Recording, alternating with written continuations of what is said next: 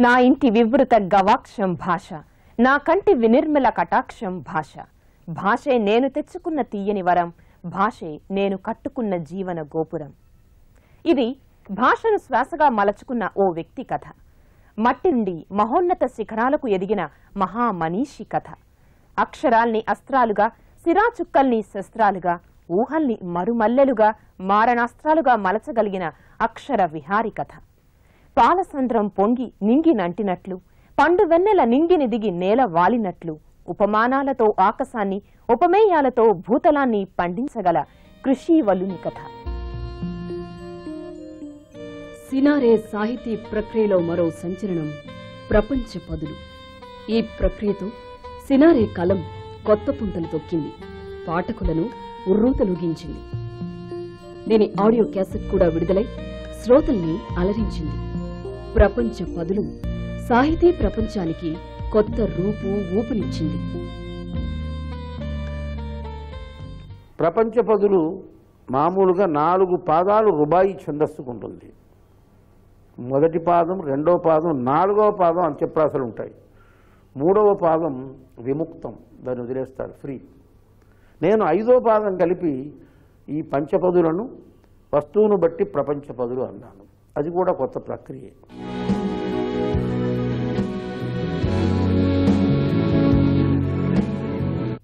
తెలుగు సాహిత్య చరిత్రలో లెక్కకు మిక్కిలి గ్రంథాలున్న వాటిలో మొట్టమొదటిసారిగా జ్ఞానపీఠం కవి సామ్రాట్ శ్రీ విశ్వనాథ సత్యనారాయణ గారు రచించిన శ్రీమద్ రామాయణ కల్పవృక్షంకు లభించింది. తర్వాత తెలుగులో రెండవసారి జ్ఞానపీఠం పొందిన మనోజ్ఞ రచన మహాకావ్యం సింగిరెడ్డి నారాయణ రెడ్డి గారు రాసిన విశ్వంభర. విశ్వనాథ వారి నవలలు వేయి పడగలు మాబాబు చెలియలి కట్ట ఏకవీర. ఏకవీర నవలకు సినిమా అనుసరణ మాటలు పాటలు రచించారు సినారే. సినారేకు విశ్వనాథ్కు ఉన్న అనుబంధం కేవలం నామమాత్రం. సినిమా మాత్రమే కాదు సినారే తెలంగాణ రచయితల సంఘం కార్యదర్శిగా ఉండగా యువ కవిగా తన కవితల్ని వినిపించినప్పటి నుండి విశ్వనాథుని ఆశీస్సులు పొందారు. విశ్వనాథ కులాబ్ధి విధుడు ఆంధ్ర సారస్వతోధ్యాన వనమధుడు అయిన విశ్వనాథ గారి షష్ఠపూర్తి మహోత్సవ సందర్భంలో కిన్నెరసాని ప్రశంస కవితాగానం చేశారు సినారే. గుడివాడలో జరిగిన మహాసభలో ఆంధ్ర ప్రముఖ మహాకవులందరూ ఉన్నారు. నేను అతని గురించి ఒక కవిత పాడాను. విశ్వనాథ కులాబ్ధి విధుడు ఆంధ్ర సారస్వతోద్యానవన మధుడు. ఆయన పక్కన ఉన్నాడు కదలడం లేదు. స్పందన లేదు.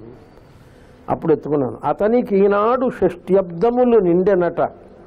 అరవై ఏళ్ళు. అతనికి ఈనాడు షష్ట్యబ్దములు నిండెనట. అతని తల వెండి మలయయి వెలుగుచుండేనిట అన్నాను తల నెరిసింది తెల్లబడిందని చుట్టూ. అతని తల వెండి మలయయి వెలుగుచుండెనిట. అనగానే పరవశించి నా చేయబట్టుకున్నాడు అని. ఇందులో విశేషం ఏమిటంటే తల వెండిమలం ఏమిటంటే తైల తల ఒక కైలాసగిరిలాగా ఉంది. తెల్లగా ఉండడమేమో ఒక రూపపరం కానీ అంతస్తత్వ పరంగా ఏమిటంటే ఆయన శిరస్సు కైలాసగిరి శిరస్సులా ఉంది. అని అనడంలోని ధ్వనిని అర్థం చేసుకొని నన్ను ఒక రకంగా ఆశీరభినందన పూర్వకంగా నా చేయి పట్టుకున్నాడు.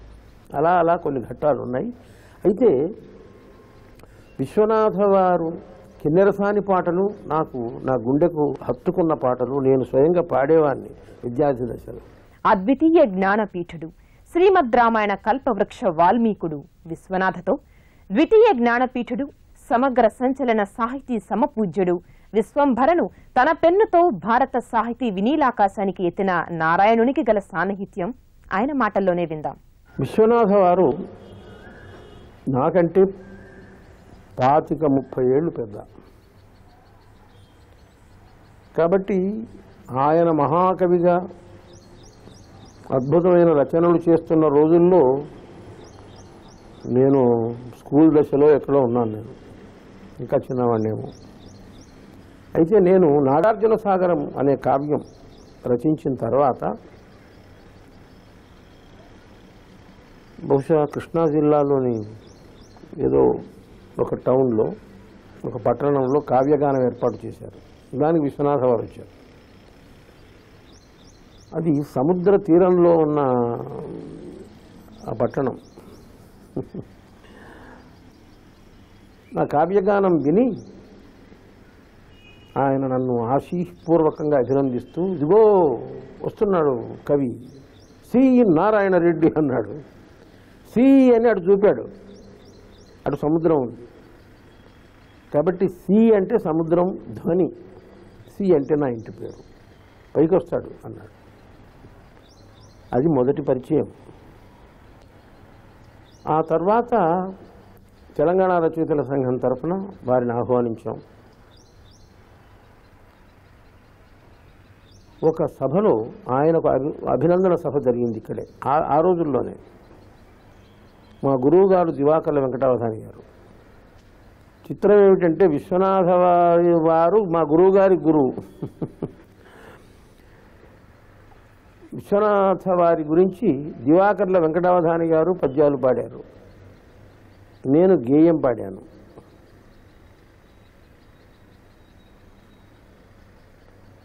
ఆ ఆ ఇద్దరిది అయిపోయిన తర్వాత విశ్వనాథ వారు మాట్లాడుతూ అవధాని గారిది సిద్ధవాక్కు అన్నాడు. సిద్ధవాక్కు నారాయణ రెడ్డిది రససిద్ధవాక్కు అన్నాడు. అంతకు మించిన సర్టిఫికెట్ నాకేం కావాలి? తర్వాత గొప్ప కథలు రాశాడు ఆయన. గొప్ప నవలను రాశాడు చెల్లెలి కట్ట మొదలైనవి. వేయి పడగలు శ్రీమద్ రామాయణ కల్పవృక్ష మహాకావ్యం రాశాడు. అయితే ఒక దృక్పథాలను బట్టి కొద్ది తేడా ఉంది. మరి కవిత్వానికి ఎప్పుడూ నేను కైమోడ్పులు ఘటించాను. కానీ ఆయన వర్ణాశ్రమ ధర్మాలను ఆయన బలపరిచేవాడు. మేము ఆధునిక తరానికి సంబంధించిన వాళ్ళం. మేము దానికి భిన్నంగా ఉండేవాళ్ళం. కానీ అభిప్రాయ భేదాలున్నా ఆయన ప్రతిభ పట్ల నాకు భిన్నాభిప్రాయం లేదు. మహాకవి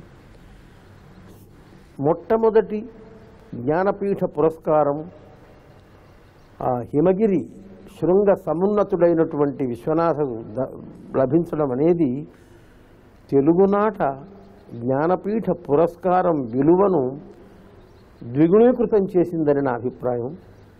అంతటి మహనీయుడి తర్వాత పంతొమ్మిదేళ్ళ తర్వాత ఆ పంతొమ్మిదేళ్ళ మధ్యకాలంలో ఎవరికి రాలేదు ఏమిటో మరి అది.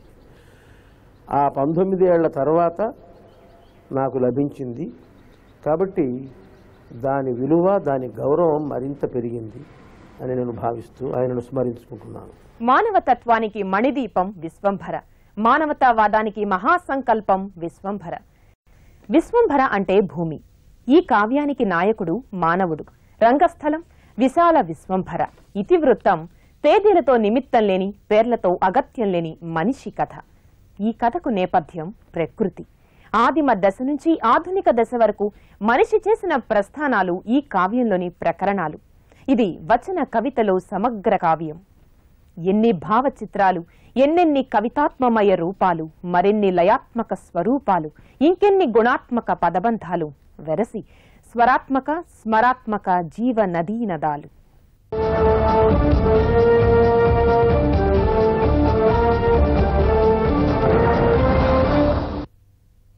నేను పుట్టకముందే నెత్తి మీద నీలితెర కాళ్ళ కింద ధూళిపొర ఆంధ్రప్రదేశ్ సాహిత్య అకాడమీ అవార్డు లభించింది ముందు. ప్రతిష్టాత్మకమైన పురస్కారాల్లో అదొకటి అవార్డుల్లో. అది రుజుచక్రం కావ్యానికి. ఆ తరువాత కొన్నేళ్ళకు కేంద్ర సాహిత్య అకాడమీ అవార్డు లభించింది. మంటలు మానవుడు అనే నా వచన కవితా సంపుటికి. ఋతుచక్రం గేయ ఛందస్సులో రాసింది. ఇదేమో వచన కవితలు. ఆ తర్వాత కూడా ఏమిటి తదుపరి? గుర్తింపు. ఎవరైనా గుర్తింపు కోసమే చూస్తారు. కళాకారుడు కానీ కవి కానీ రచయిత కానీ ఇంకా మనకున్నది అత్యున్నత పురస్కారం జాతీయ స్థాయిలో జ్ఞానపీఠ పురస్కారం. దీనికి అంత సులభం కాదని నాకు తెలుసు. కాబట్టి నేను ఒక సరికొత్త కథావస్తువు ఒక సరికొత్త వస్తువుని తీసుకొని ఒక కావ్యం రాయాలి దీర్ఘకావ్యం రాయాలి. కవితా సంపుటలకు రావచ్చు. కానీ నాకు ఎందుకో అనిపించింది. ఆ దృష్టితో నేను కొన్నేళ్ళు కొన్నాళ్ళ పాటుగా నేను మానవుడి క్రమ పరిణామ దశలకు సంబంధించిన గ్రంథాలు చదివాను అంటే సృష్టి మొదలుగా ముందు ముందు పుట్టింది ఇటు భూమి అటు ఆకాశం. ఆ తర్వాత వచ్చాడు ఈ మానవుడు. తర్వాత వచ్చిన వాడే ఇటు నేలను ఏలుతున్నాడు ఆకాశాన్ని శాసించడానికి ప్రయత్నిస్తున్నాడు. అప్పుడప్పుడు విఫలమైన అది వేరే కాబట్టి ఈ మానవుడి కథ. ఏ మానవుడు? మానవుడు. మానవేతిహాసం ఎందుకు రాయకూడదు? ఆ రకంగా క్రమ పరిణామాన్ని మానవ క్రమ పరిణామ దశలను గురించి చెప్పాలని కొంత అధ్యయనం చేసి నోట్స్ తీసుకున్నాను అంశాలు. కాబట్టి మానవుడి ఇతిహాసమే ఇది. ఇది ఆదిమ దశ నుంచి ఆధునిక దశ వరకు. క్రమ పరిణామం ఎలా పొందాడు? ఆదిమ దశలో గుహలను ఆశ్రయించి ఉన్నాడు. గుహల్లో నుంచి బయటపడ్డాడు. వాడల్లో మన మైదానాల్లోకి వచ్చాడు. మైదానాల్లో ఊళ్ళను నిలుపుకున్నాడు.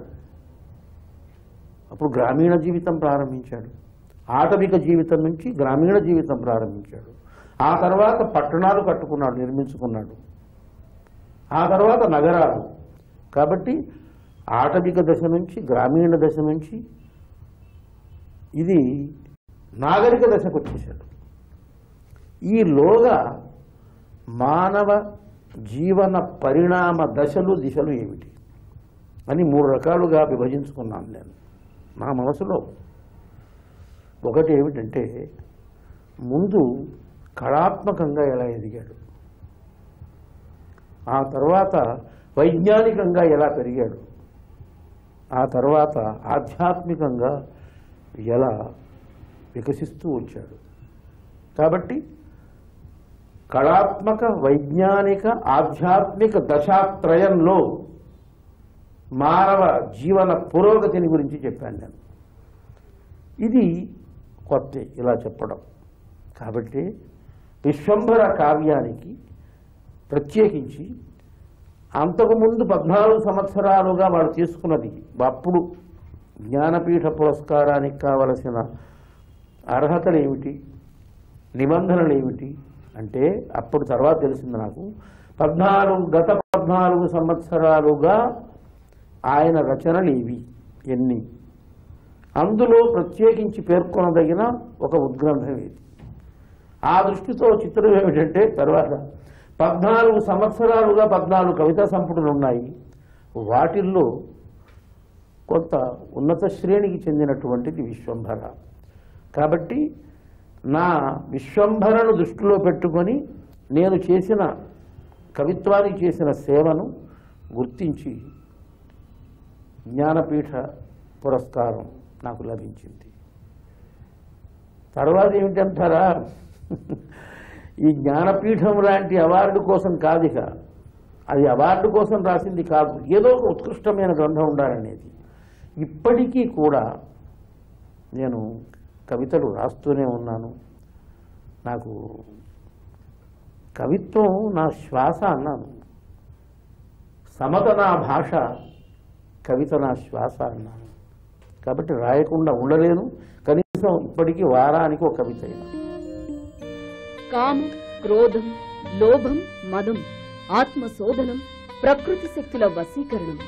ఇలా ఇలా ఎన్నెన్ని విభిన్న ప్రవృత్తులో మనిషికి. అలెగ్జాండర్ క్రీస్తు అశోకుడు సోక్రటీస్ బుద్ధుడు లింకన్ లెనిన్ మార్క్స్ గాంధీ ఇలా ఇలా ఎన్నెన్ని రూపాలు మనిషికి. ఈ భారతీయ జ్ఞానపీఠ పురస్కారం జాతీయ స్థాయిలో సాహిత్యానికి అత్యున్నత పురస్కారం. అంతర్జాతీయ స్థాయిలో నోబెల్ ప్రైజ్ ఫర్ లిటరేచర్ ఎంతటిదో మన జాతీయ స్థాయిలో భారతీయ జాతీయ స్థాయిలో అంతటి సమున్నత పురస్కారం జ్ఞానపీఠ్. కాబట్టి ప్రతి రచయిత ప్రతి కవి జ్ఞానపీఠ పురస్కారాన్ని ఆశించడంలో తప్పు లేదు. విపరీతం ఏమీ కాదు ఇది. కొందరు కొందరు చాలా చమత్కారంగా ఇవన్నీ నేను ఆశించేవాడిని కాదు అనేవచ్చు వాళ్ళు మహనీయులు వాళ్ళు అతీతులు.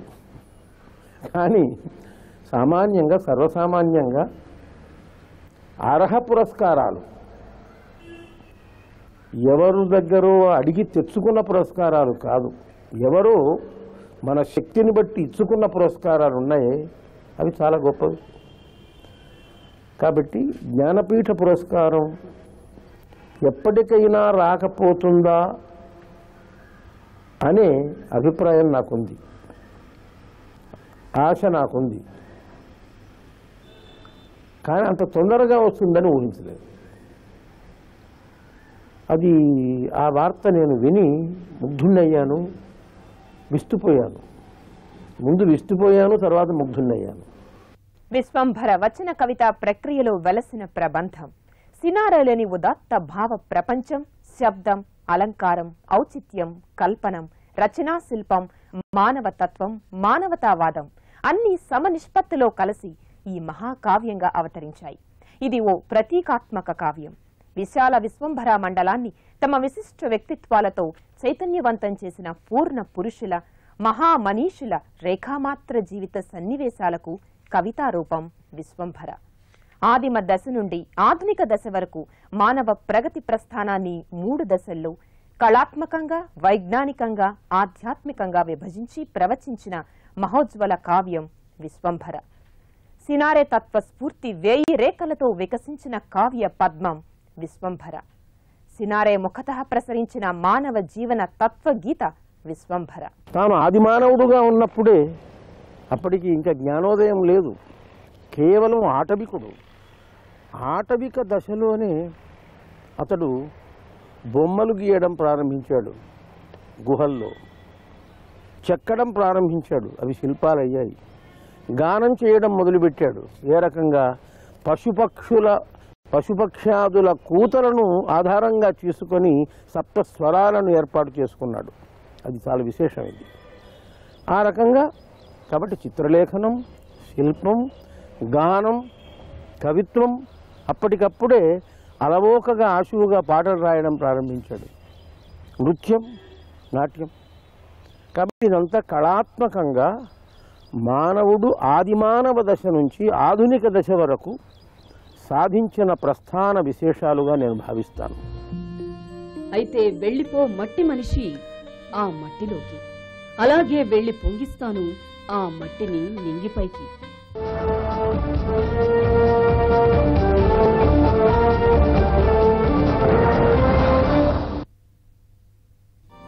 సృష్టికి మూలం జ్ఞాన బీజం విశ్వంబర భ్రమణానికి మూలం శాశ్వత చైతన్య తేజం.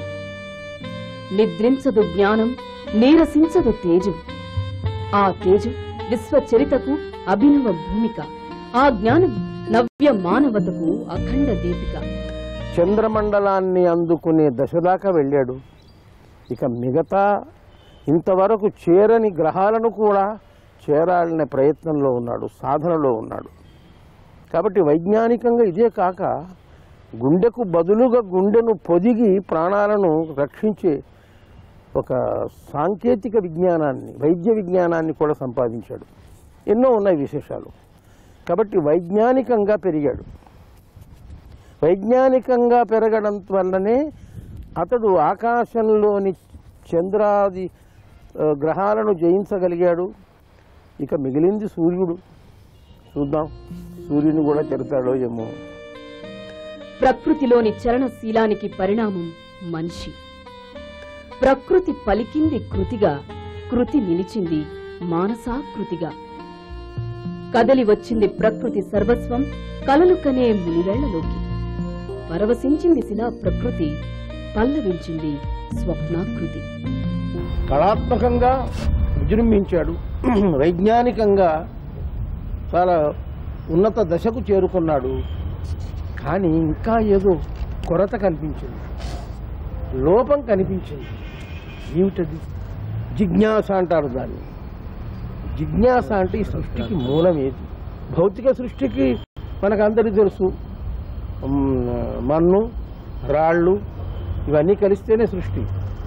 అణువులు అది కాదు. మరి ఇంకేదైనా శక్తి ఉందా? అది ఆధ్యాత్మిక చింతనకు పాదులు వేసింది ఆ ఆధ్యాత్మిక చింతనలో నుంచే దైవం అన్న భావన ఉదయించినది. ఒక పరమాత్ముడు ఉన్నాడా? ఈ జీవాత్మలు వేరు ఆ పరమాత్ముడు వేరా? ఈ జీవాత్మ పరమాత్మ సాంగత్యం కోసం ప్రయత్నిస్తుంటుందా? ఈ రకంగా అపూర్వమైన నిరంతర సాధన చేశాడు. ఆధ్యాత్మిక రంగంలో ఆ రకంగా త్రిముఖంగా అన్నాను అందుకే నేను. ఇంకా ప్రయత్నాలు సాగుతూనే ఉన్నాయి. ఇటు కళాత్మకంగా అటు వైజ్ఞానికంగా ఇటు ఆధ్యాత్మికంగా. ఈ ఈ మూడు ముఖాలుగా మూడు దశల్లో మానవుడు సాగిస్తున్న ప్రస్థానం ఇంకా కొనసాగుతూనే ఉంది. కొనసాగంది మనిషి ఎలా ఉంటాడు?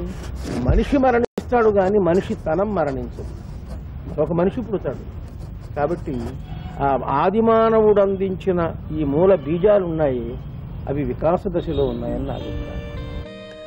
రుచిత్వానికి పశుత్వానికి సంస్కృతికి దుష్కృతికి స్వచ్ఛందతకి నిర్బంధతకు సమార్ద్రతకు రౌద్రతకు తొలి బీజం మనస్సు తులారూపం మనస్సు. మనస్సుకి తొడుగు మనిషి మనస్సుకి ఉడుపు జగతి. ఇదే విశ్వంభరాతత్వం ఇదే అనంత జీవన సత్యం. విశ్వంభర ఒక్క తెలుగులోనే కాక అనేక భారతీయ భాషల్లోకి ఆంగ్లంలోకి కూడా అనువదించబడింది. విశ్వంభర మహోన్నత జ్ఞానపీఠ పురస్కారాన్ని కాదు మరెన్నో ప్రతిష్టాత్మక అవార్డులు గెలుచుకుంది. దిల్వారా అవార్డు భారతీయ భాషా పరిషత్ కలకత్తా పంతొమ్మిది వందల ఎనభై. కుమారన్ ఆసాన్ అవార్డు త్రివేంద్రం పంతొమ్మిది వందల ఎనభై రెండు. సోవియట్ ల్యాండ్ నెహ్రూ అవార్డు ఇక భారతీయ జ్ఞానపీఠ అవార్డు పంతొమ్మిది వందల ఎనభై అలా ఎన్నో అవార్డులు రివార్డులతో రికార్డు సృష్టిస్తోంది డాక్టర్ సి నారాయణ రెడ్డి గారి కావ్యరాశిలో విశ్వంభర ఒక విశిష్టమైనటువంటి కావ్యం. అది వచన కవితలో సమగ్ర కావ్యం. నారాయణ రెడ్డి గారు గేయ కావ్యాలు రచించారు చలనచిత్ర గీతాలు రచించారు తర్వాత సమగ్ర వచన కావ్యాలు రచించారు. విశ్వంభరకు ముందు భూమిక అని అది కూడా ఒక సమగ్ర వచ్చిన కావ్యం. అది విశ్వంభరకు ప్రాతిపదిక. ఆయన ఎంత సునిశ్చితమైన సుకుమారమైనటువంటి భావాన్ని కూడా ఒక మంచి సుబోధకరమైనటువంటి పరిపూర్ణమైనటువంటి శబ్దంలో వ్యక్తీకరించ వ్యక్తీకరించగలరు. ఆయన చెప్పినటువంటి ఉదాత్త భావాలను ఒక భాష అనే గొప్ప వాహిక ద్వారా ఈ విశ్వంభరలో మనకు అందించారు నారాయణ రెడ్డి గారు. ఆయన అంటారు చివర ఒకటి ఏమిటంటే వేయి తోటలను నరికిన చేయి పుష్పిస్తుందా? ఒక పువ్వును పూయిస్తుందా? ఒక పువ్వును అన్నారు. ఇంతకంటే కావలసింది ఏమిటి? మానవీయ దృక్పథానికి ఇంతకంటే నిదర్శనం ఏముంది? అలాంటి గొప్ప గ్రంథం విశ్వంబర.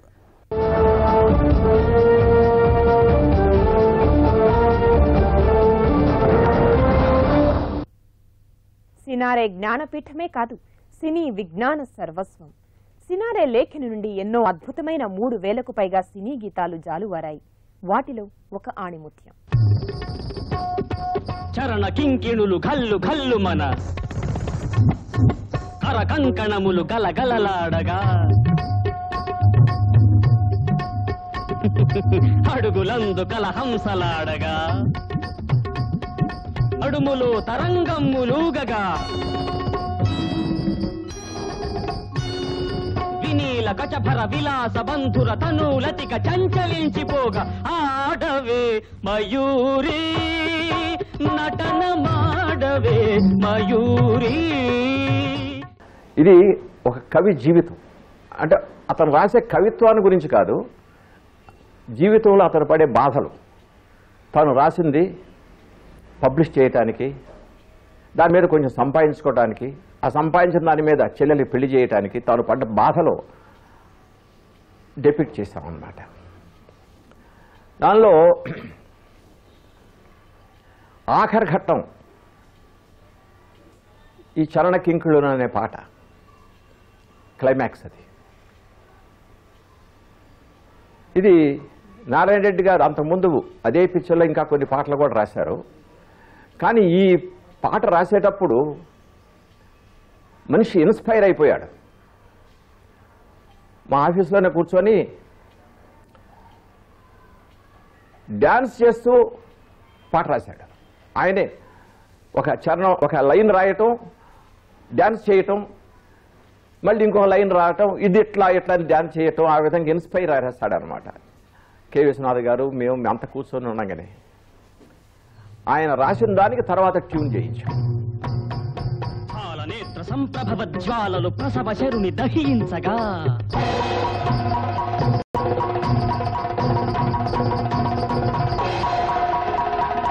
పతిని కోలుపడి రతీదేవి దుఃఖితమతి రోధించగా.